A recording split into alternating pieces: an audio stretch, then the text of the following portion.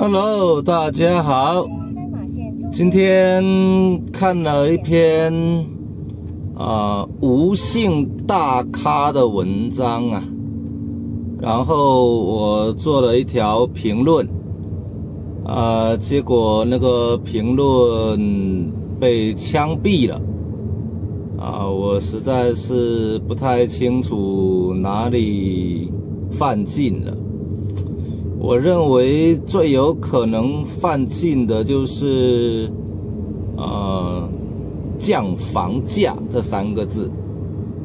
那这个无姓大咖的标题是“只有救楼市才能救内需”。啊，先暂时不说内需的事情，说说楼市吧。作者提出了五条建议啊。第一条是取消房产税，或者说是暂缓房产税吧。啊，第二条跟第三条都是降房贷利率。啊，第四条是取消限价政策。然后第五条是落实保交楼政策，啊，就是保证会交房。不会出现烂尾楼，啊，然后我的评论的话，我还是用用用贴图的形式好了，然后被枪毙了，啊，我我我觉得可能就是降房价这一句话，那个我说的就是两，所谓要救楼市就是两个办法了。第一个就是增加百姓收入了，让百姓有钱买。那第二个办法就是把房价降下来，让百姓买得起。就是这两个办法。他说的那五条的话，我的评论是最多也就治标了，根本无法治本啊。那 后面还补了一句。呃，希望作者能够写一篇怎么样才能让老百姓有钱的文章。呃，这个会不会是这一句被枪毙呢？搞不清楚。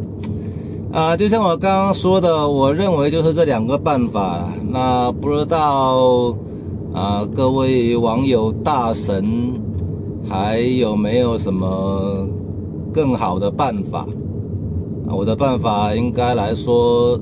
算是就是一个升嘛，升收入嘛，降降房价，呃，有没有第三、第四、第五条？希望大家 能够补充吧。那其实那个关于升百姓收入的问题的办法，我在之前的视频里面已经有说过了，但是人微言轻啊。